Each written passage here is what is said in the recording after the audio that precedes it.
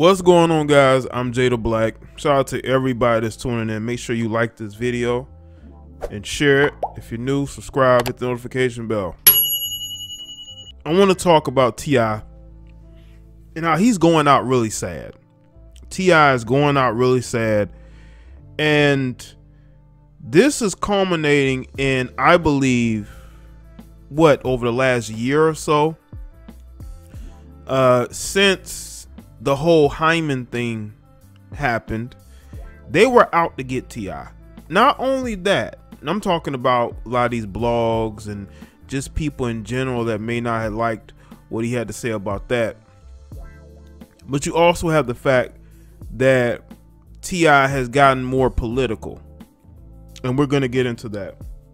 But I want to speak to a lot of you a lot of you guys, especially a lot of the melanated men who are listening no matter what political leaning you have, I'm pretty sure all of us can agree that our image continues to be tarnished, especially if we are presenting ourselves as a family man, head of household, who makes the decisions, right? Y'all know they've been trying to tear down that image of us for years. This is why they went after Bill Cosby so hard like they did, you know? Bill Bill Cosby over the 80s and, you know, 90s so to speak, he was the image of a black father figure, right? Of a household, of growing children. Then you go into the 90s and you had the Fresh Prince of Bel Air. You had the father figure to uh, the nephew, he had his own kids, but he also took in Will Smith's character.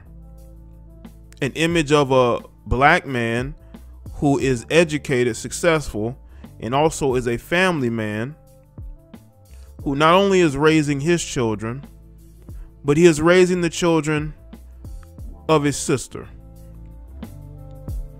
So I want y'all to understand that a lot of times in our society, and we need to have more and more conversations like this because this has been going on, I would say, for quite some time now. We have seen this gradual push to destroy the image of melanated men who have families, who have careers, and replace them with the hyper masculine thug, the guy who can't stay out of trouble, but he can keep a woman, the guy who has to get his money in the streets instead of in a boardroom or as in the Fresh Prince of Bel Air in a courtroom, right? We're not seen in that manner.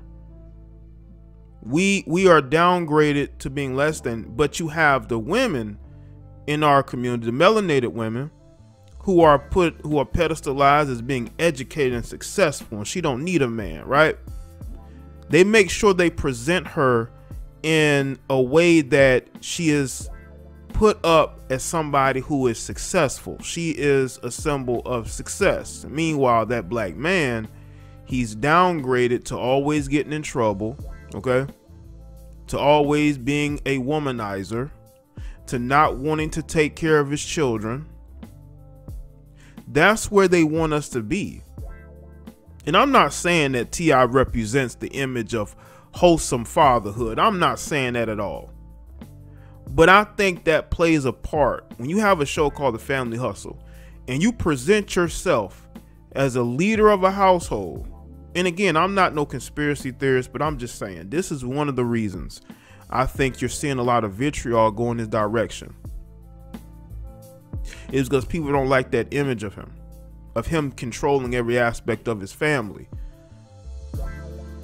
Now, in regards to the allegations that have been said about him, where there's smoke, there's fire.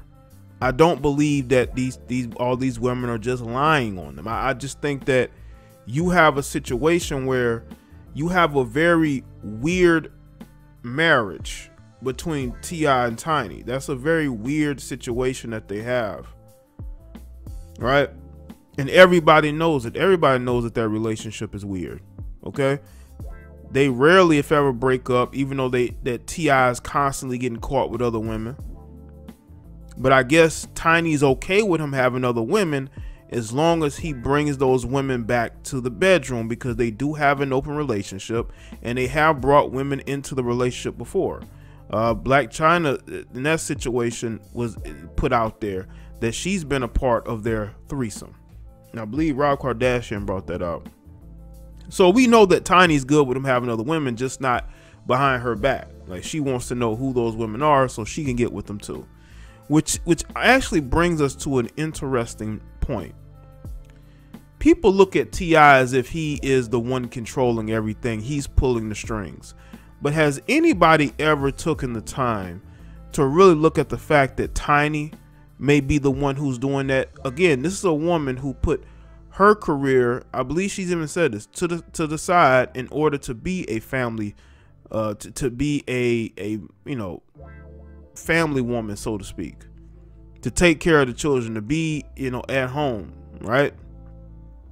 While T.I. went out and, and did his thing music wise and did what he wanted to do. How do we not know that to keep that marriage going, not only did she have to compromise, but he had to compromise too.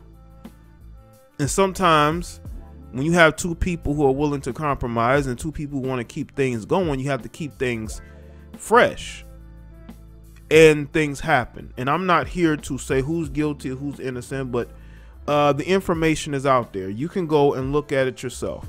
But the information is out there. The information is out there. We all know that there's something going on there. We know that they like to get it in with women, but you would think that it's by the woman's free will. But again, and I'm just putting this out here because I have to put everything out here. I'm not just going to leave things out. There are people who get off on being able to take somebody against their will. I'm just saying. I'm not saying that that's what happens here, but a lot of times, and I've I've seen this. There was a football player. I believe his name was Darren Sharper, right? You look at a guy like Darren Sharper, NFL player. Does he even seem like the type of guy that would need to slip anything in a woman's drink? But he did multiple times in different states and was put away for it. Was put away for it. But looks can be deceiving. Just because somebody has everything does not mean that they that they're okay with that because at some point they get bored they get bored and they want excitement.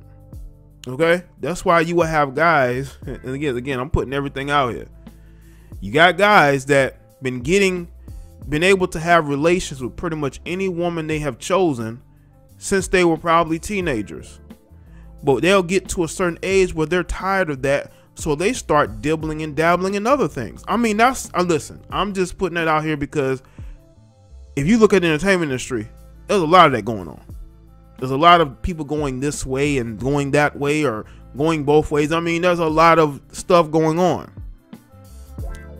Look at some of these um, past pastors that gotten caught up in situations, right? There are people who, again, you may think that they have it all. You may think that they're able to do this and that, but you have to understand that people get bored when people have money, they get bored. Okay? And they want excitement. They want uh they want to walk on the wild side, so to speak. And I'm not saying that that that's what happened in situation because I don't want people going back mixing my words. What I'm saying is I want you to get the mindset of rich celebrities, okay?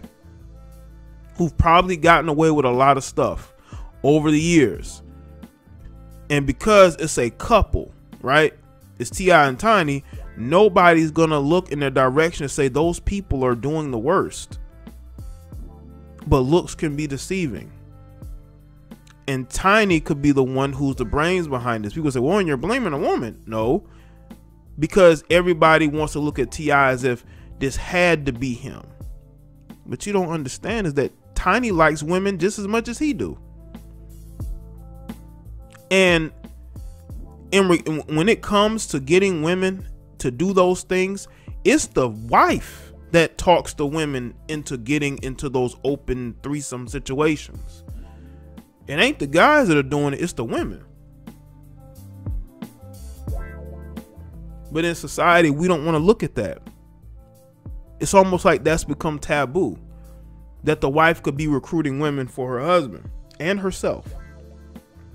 And that some nefarious things could end up going on. Now, let me speak to the political aspect of this. Let me speak to the political aspect of this. T.I. has been very political. And because he's been very political, especially recently, uh, now you have people in the politics world that want to see T.I. completely discredited, even if he's found not guilty of any of any wrongdoing. The fact that people who may be political opponents of Leisha, uh, of Land, uh, of Keisha Lance Bottoms, who is the mayor of Atlanta, who T.I. supports. If his if the political opponents of her can discredit him because he's been one of her most vocal supporters, and he's in the entertainment industry, they feel like they can be successful in their goal and what they're trying to do. Right? No good deed goes unpunished you would think that guys like T.I. will be going at who has been going after the systematic oppression of melanated people, that in fact it's melanated women who are gonna take him down. And not only that, I'm not saying they will, but I'm just saying, not only do they have these women coming forward, they went and got a black male lawyer to do it. They went and got a melanated lawyer, a melanated man, to defend them.